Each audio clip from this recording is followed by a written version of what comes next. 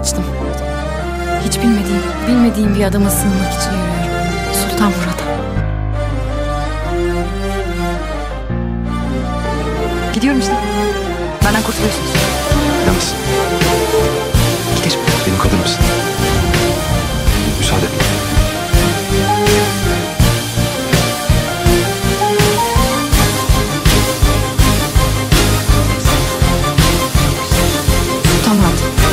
Eğer beni yanında istiyorsan benimle evleneceksin.